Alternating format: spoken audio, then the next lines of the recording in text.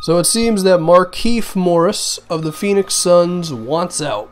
He wants to get traded, and he's been very upfront about that.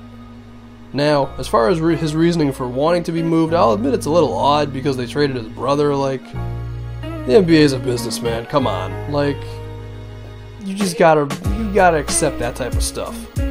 But doesn't change the fact that he does want out. So the question is, how valuable is Markieff Morris? Well, this past season he averaged about 15 points and 7 or 8 rebounds, if I'm not mistaken.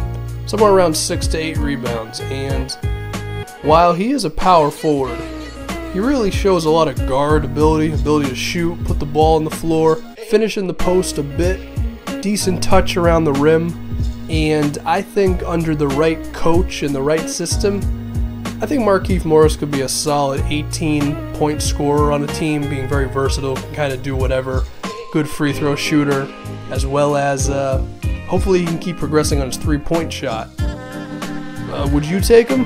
Because being a Celtics fan, I would love to have Markieff Morris, especially over Jared Sullinger. Okay, we have David Lee now.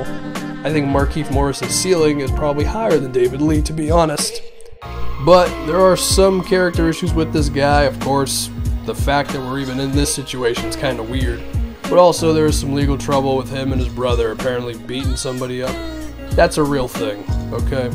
So I think if you take him in, you're going to need a strong culture.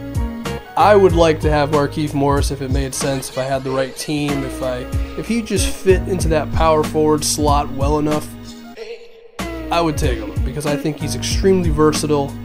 I also think he has not hit his ceiling yet, and I think he's got an overall game that's just really strong. But of course, maybe you guys disagree with me. That's perfectly fine. You can do that. So, my question is, you know, how valuable do you believe Markieff Morris is? Would you like for him to be on your team? This video is really goddamn short, so I guess I will say, um, I don't know. I might upload some more Rocket League because the game's really fun. That's all I got, really. Shout out to Xur for selling the Gjallarhorn. That was pretty dope.